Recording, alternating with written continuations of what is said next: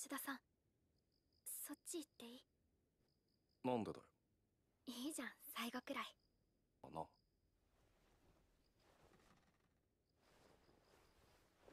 そっち詰めて。おう。に住んでたけどこんな近くで寝るの初めてだね。ことしないから。したら追い出されちゃうもんね。明日を待たずに追い出してやる。それは困るな。おおいとだけこうさせて。吉田さんがさん？吉田さんがお父さんだったら私もっとまっすぐ育ってたかな。お前のお父さんじゃない。分かってる。俺はお前のひとときの宿でしかないよ。くてあったかくて。最あらよかった。う。ん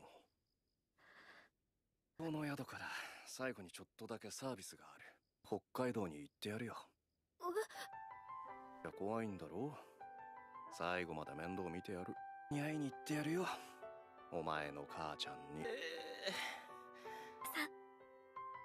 んどうもありがとう。どういたしまして